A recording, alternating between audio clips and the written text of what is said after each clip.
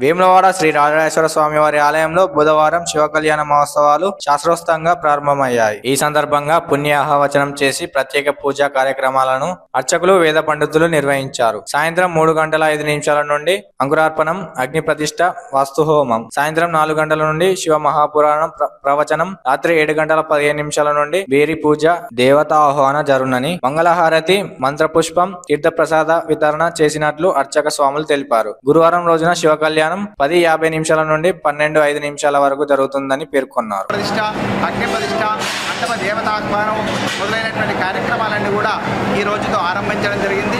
రేపటి రోజున ఎదురుకోళ్ళు మరియు స్వామివారి శివ కళ్యాణ మహోత్సవము రేపు జరుగుతుంది కాబట్టి ఆ కళ్యాణ ఉత్సవాల్లో లక్షలాది మంది భక్తులు పాల్గొంటారు. ఆ ఉత్సవం స్వామివారిని దర్శిస్తారో వాళ్ళందరికీ కూడా ఆ పార్వతీ రాజరాజేశ్వర స్వామి వారి యొక్క కృపా కటాక్షం లభిస్తుంది తప్పకుండా. ఓం స్వస్తి.